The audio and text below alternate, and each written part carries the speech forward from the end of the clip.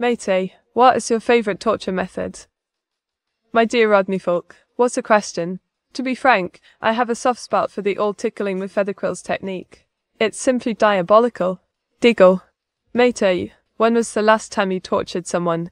Oh dear, was 666, always trying to sully my good name.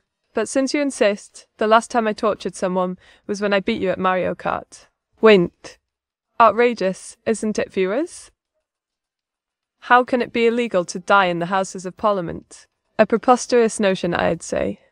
What's a person meant to do if they're feeling a bit unwell and happen to be in this esteemed establishment? Is being unwell against the law as well? Ridiculous!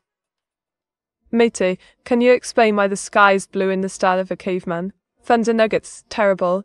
You set me quite a challenge there. Picture this, sky blue because sun make it so. Sun powerful, Deagle a bit primitive, but fitting for the occasion.